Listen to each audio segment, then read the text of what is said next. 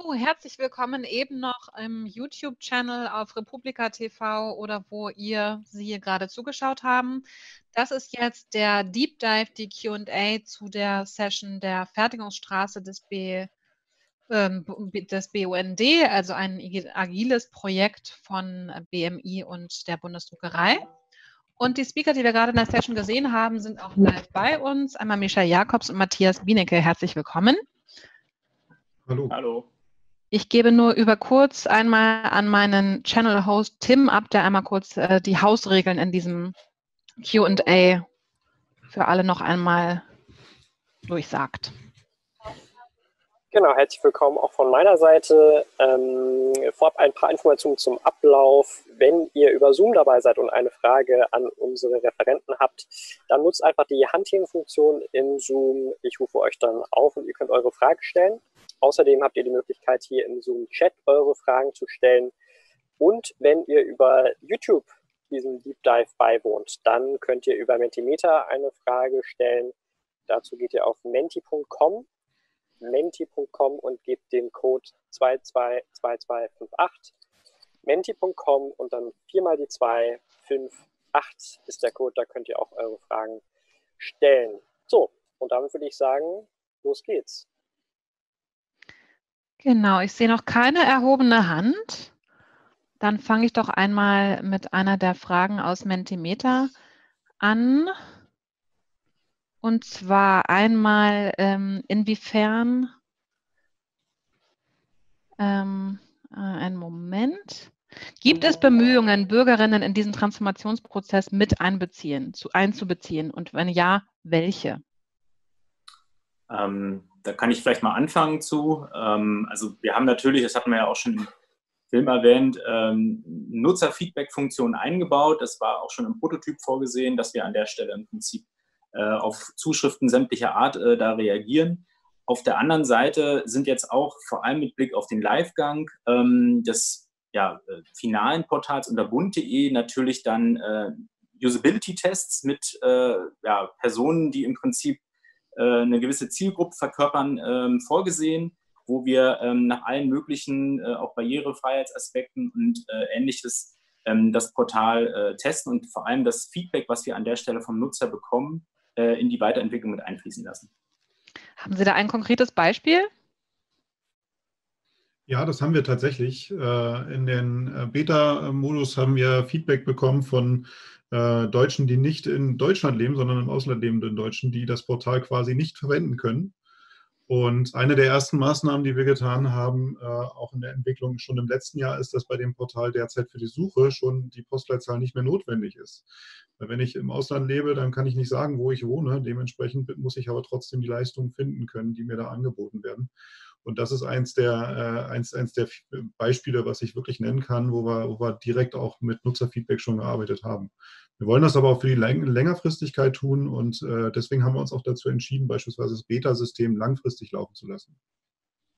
Alles klar, Dankeschön. Jetzt haben wir in Zoom eine Frage von äh, Jasmin Müller-Bjelik. Ich hoffe, ich äh, spreche den Namen richtig aus. Ähm, Sie haben das Wort.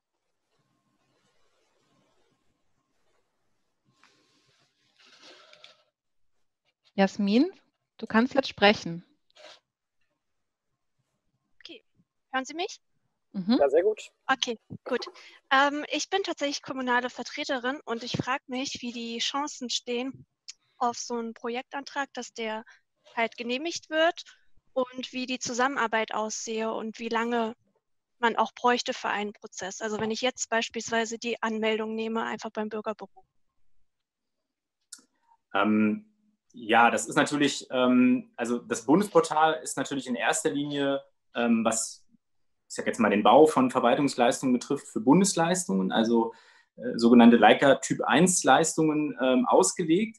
Nichtsdestotrotz gibt es natürlich mit dem Digitalisierungsprogramm auch eine, eine föderale ähm, Abdeckung, ähm, die sich im, genau im, im Bereich äh, Bund, äh, Länder und Kommunen ähm, da ein Angebot richtet an sie. Und was jetzt im Prinzip eine Möglichkeit wäre, wenn Sie sich einfach an äh, ozg.bmi.bund.de äh, wenden. Ähm, dort werden die Kollegen im Prinzip aus dem föderalen Bereich ähm, für Sie dann den Zuschnitt wählen. Ähm, da wird noch eine Leistungsklärung vorab passieren, also ähm, ob Sie Leica-konform im Prinzip Ihre, äh, ja, Ihre Verwaltungsleistung schon ähm, registriert haben. Und dann wird im föderalen Bereich da äh, die Digitalisierung angestoßen. Wie gesagt, im Bundesbereich ähm, läuft es etwas anders ab, ähm, weil da eben dann auch auf die Fertigungsstraße gegangen werden kann. Nochmal zu der Frage, wie lange das denn durch diese Fertigungsstraße dauert. Also die fachliche Vorklärung, Fachbearbeitung des ganzen Antrags dauert, also wie man diese Beantragung darstellt, im, in der Fertigungsstraße dauert so circa drei bis sechs Monate, die man halt sehr intensive Workshops miteinander macht. Das ist vor allem so ein bisschen Fachkonzeption, wie sind die Prozesse, Prozessoptimierung, Antragsoptimierung. Die reine Durchführung und äh, Umsetzung des Antrags ist bei uns in kürzester Zeit. Wir haben ja gesagt, dass wir die, die technische Umsetzung so, so, so schmal wie möglich halten wollen. Und wir haben uns zum Ziel gesetzt, dass wir im Durchschnitt fünf Personentage Aufwand dafür verwenden. Ähm, das bedeutet bei, bei der jetzigen Planung, dass wir so circa zwei bis drei Sprints dafür brauchen. Und da ist der Hauptaufwand tatsächlich nicht die technische Umsetzung, sondern die Abstimmung mit, mit der Behörde über den Antrag, wie er denn tatsächlich äh, umgesetzt wurde und umgesetzt ist. Und das macht man äh, an dem lebenden Beispiel. Und den ersten Wurf eines Antrags hat man in der Regel dann, wenn das Team anfängt, nach dem ersten Tag. Das finde ich schon sportlich. Ich habe auch selbst in der Verwaltung gearbeitet, fünf Personentage. Nicht schlecht. Ähm, meldet gerne, äh, meldet euch gerne, also die Hand hochheben unten im Zoom-Fenster. Ansonsten nehme ich jetzt erst einmal eine ja, Frage auf der Metaebene aus Mentimeter.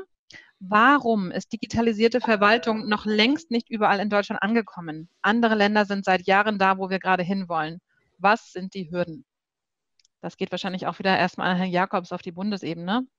Genau, also das ist natürlich äh, auch eine Frage, die uns ja in der täglichen Arbeit berührt. Ähm, was man vielleicht wirklich vorweg mal sagen muss, ähm, dass das reine Entwickeln, das reine Bauen von der Verwaltungsleistung, Herr Bieniger hat es gerade skizziert, das ist für uns der geringste Aufwand und das ist äh, auch nichts, wo wir eine größere Hürde hätten, äh, da die entsprechende Technik aufzusetzen. Ähm, was tatsächlich Themen sind, sind die organisatorischen. Ähm, Im Prinzip müssen ja ganze Prozesse sich teilweise äh, umorganisieren. Das ist ja nicht nur die analoge ähm, Welt, also ein ausgedrucktes Formular jetzt digitalisieren und dann ist alles schön, sondern an der Stelle müssen wir natürlich auch gucken, dass äh, die entsprechenden Prozesse in der Verwaltung nachgezogen werden. Zusätzlich haben wir auch noch das Thema äh, föderaler Natur. Ähm, das heißt, bestimmte ähm, ja, Abbildungen in der Informationstechnik müssen natürlich auch sich in das Gesamtgefüge, Stichwort Portalverbund, einfinden. Da sind eine Menge Abstimmungen zu leisten. Ähm, und da sind natürlich auch gewisse Interessen dahinter. Das heißt, das sind alles Faktoren, die den Prozess ein bisschen äh, ja, dehnen. Ähm, nichtsdestotrotz sind wir natürlich jetzt ähm, durch eben auch dieses Momentum äh, der Corona-Krise in einem in einem guten Schwung, ähm, das jetzt auszunutzen und ähm, dann auch mit dem Livegang des Bundesportals, ich sage jetzt mal, eine, eine, eine, schnellere Geschwindigkeit auch an der Stelle zu erreichen. Weil, wie gesagt, wenn wir dann mit dem Antrag durch sind, das, das reine Bauen und auf die Straße stellen, das ist wirklich das geringste Problem. Dann vielleicht nochmal auf die Frage zurück, was ist denn in Deutschland schwieriger als in anderen Ländern, die, die, die schon digitaler unterwegs sind? Also ja, wie ich schon erwähnt hatte, also vor allem was die föderalen Strukturen betrifft, ähm, wenn Sie sich jetzt vorstellen, ähm, Sie haben halt eine Kommunalleistung, ähm, da gibt es eben andere Standards, äh, die dort äh, einschlägig sind, als sie bei uns im Bundeskontext äh, herrschen. Ähm, wenn Sie jetzt äh, gewisse Leistungen nachnutzen wollen, ähm, Bewohnerparkausweis, ähm, dann kann da eine Kommune vorgeprescht sein, die eine wirklich super Anwendung gebaut hat. Das Ganze jetzt aber in allen Kommunen nachnutzen zu können, da haben Sie ein riesiges juristisches Thema, da haben Sie Vergaberechtsthemen. Ähm, das sind im Prinzip ja auch ein bisschen durch die äh, föderale Aufteilung ähm, ja, Zeitpuffer, die uns da eben entstehen.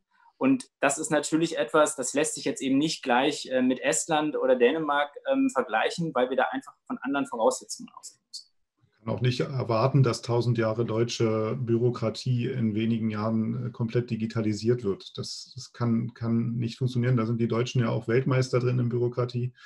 Und ähm, durch die föderalen Strukturen ist das natürlich noch ungleich schwieriger. Das ist, äh, da gibt es einfach unterschiedliche Technologien, unterschiedliche Basisdienste, unterschiedliche Infrastrukturen, die alle zu berücksichtigen sind. Und dafür den einen Standard zu finden, das ist halt wirklich schwer. Wir versuchen das auf der Bundesebene mit dem Bundes Portal zu schaffen, ein Standardsystem, mit dem man viele Antragsleistungen online darstellen kann, die dann auch möglichst standardisiert laufen. Äh, das ist, denke ich, der richtige Ansatz. Aber der ist natürlich föderal, landeskommunal, aber auch Kreisverwaltungen, äh, Gerichte. Also da gibt es ja tausende von Verwaltungseinheiten, die alle irgendwie mitgenommen werden müssen. Das ist natürlich nicht trivial. Mhm. Sie hatten, äh, Herr Jakobs, jetzt zwei Länder schon genannt. Das schließt dann eine zweite Mentimeter-Frage an. Gab oder gibt es Vorbilder für die digitale Fertigungsstraße? Wurde zum Beispiel nach Dänemark oder Estland geschaut? Anscheinend ja, können Sie gleich darauf eingehen. Und oder gab es Projekte oder Prozesse aus dem Business-Bereich als Vorbilder?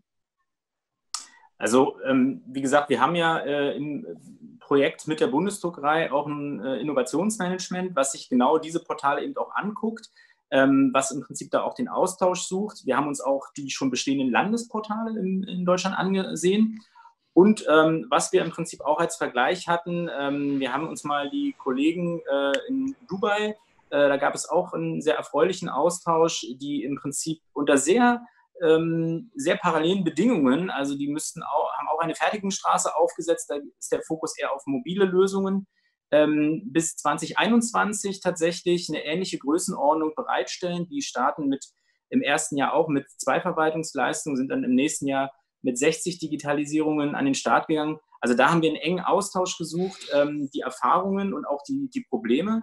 Und dann muss man natürlich auch sagen, und auch an der Stelle haben wir dann eben auch festgestellt, Stichwort Datenschutz, Stichwort IT-Sicherheit, ähm, das sind eben einfach Dinge, die sind sehr ähm, präzise bei uns geregelt. Ähm, die haben also ein, ein sehr, eine sehr juristische Betrachtung, die da erst aufgearbeitet werden muss, bevor man dann tatsächlich in, die eigentliche, in eigentliche Bauen von Lösungen gehen kann. Und da, ähm, das ist so ein bisschen äh, Freud und Leid an dieser Stelle. Ähm, wenn es geklärt ist, geht es relativ schnell, aber es muss eben erstmal dieses dicke Brett gebohrt werden. Okay, das waren jetzt ähm, also internationale Beispiele. Wie sieht es aus mit ähm, Beispielen aus der Privatwirtschaft, die Sie als Vorbild genutzt haben?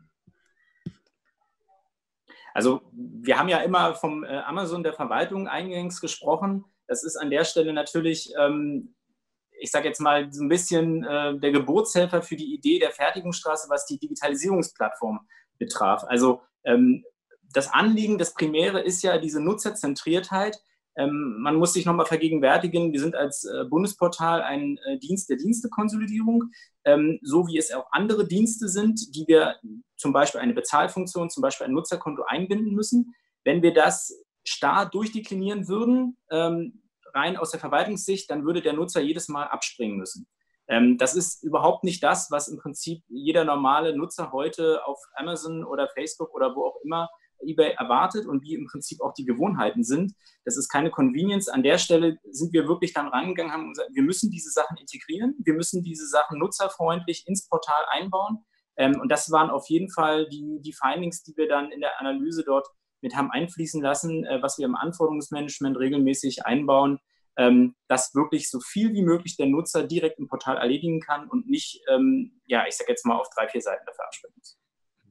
Technisch orientieren wir uns sehr wohl an dem, was, das war ja auch Teil des Vortrags, an dem, was dort in der Privatwirtschaft passiert, also dass wir moderne Technologien einsetzen, Containertechnologien, die äh, von, von großen Portalen heutzutage verwendet werden. Und äh, da sind wir auch relativ kompromisslos, was diese Technologien einsetzt. Aber das, die technische Frage ist da einfacher zu bewerten, fachlich ist es die Verwaltung etwas völlig anderes als in der Privatwirtschaft. In der Privatwirtschaft, schönes Beispiel, im Datenschutz haben wir gelernt, dürfen privatwirtschaftliche Unternehmen alles das, was nicht verboten ist und die, ähm, ähm, die Verwaltung darf eben nur das, was erlaubt ist. Und das ist halt genau der unterschiedliche Ansatz, wo wir dann auch fachlich mit der Plattform natürlich ganz anders umgehen müssen, gerade was die Themen Datenschutz, Rechtssicherheit, Verwaltungsrecht etc. angeht. Alles klar, genau zur Usability gab es auch noch ähm, Fragen auf Mentimeter und zwar werden auch Nutzende aus kommunalen Verwaltungen mit in diese Usability-Tests einbezogen?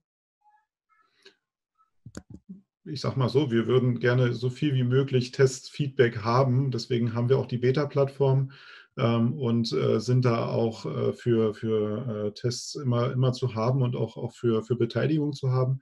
Beteiligung ist ja eines der zentralen Elemente in der Agilität, dass man mit, mit interagiert mit seinen Nutzenden, mit seinen Kunden. Ähm, und natürlich sind da auch die Feedbacks von, aus der Verwaltung auch wichtig. Alles klar. Also äh, Feedback an alle, ähm, ob nun kommunalen Mitarbeiter oder auch normale, in Anführungsstrichen, BürgerInnen, äh, beta.bund.de, fleißig Feedback äh, hinterlassen und das wird dann auch genutzt. Ähm, wir haben leider nur noch eine Minute. Gibt es noch eine dringende Frage direkt in äh, Zoom, die Sie gerne stellen wollen? Dann jetzt einmal die Hand heben. Ich sehe keine Hände. Ähm, Mentimeter haben wir bestmöglich abgearbeitet. Dann vielen Dank äh, für Ihre Zeit, Michael Jakobs vom BMI und Matthias Bienecke von der Bundesdruckerei und allen, die Fragen gestellt haben, zugehört, zugeschaut haben. Tim, haben wir noch eine offizielle Botschaft? Ansonsten viel Spaß bei weiteren Republika-Sessions auf YouTube und den üblichen Channels oder wenn Sie gerne weitersprechen möchten, ähm, auch in den Hof wechseln. Die Links sind am besten über unser Twitter-Profil zu finden. Da ist ein sogenanntes Pad-Dokument mit allen ähm, Links, da unsere Website heute hoffnungslos überlastet ist. So viel zur Digitalisierung von Digitalkonferenzen. Leider ja. Ähm, die Botschaft, äh, habt Spaß, guckt auf allen Kanälen. Das gilt natürlich immer. Hier im Deep Dive 2 geht es um 17.35 Uhr weiter mit dem Thema Memes. Memes for Future. Freuen uns sehr auf das Künstlerkollektiv Cluster Duck ähm, eine kleine technische Botschaft tatsächlich noch. Wir müssen einmal den Zoom-Raum hier neu starten, sind dann aber rechtzeitig wieder da, wenn es um 17.35 Uhr losgeht. Vielen Dank, das war spannend ähm, und bis nachher. Genau. Dankeschön, bis zum nächsten Mal. Danke, tschüss.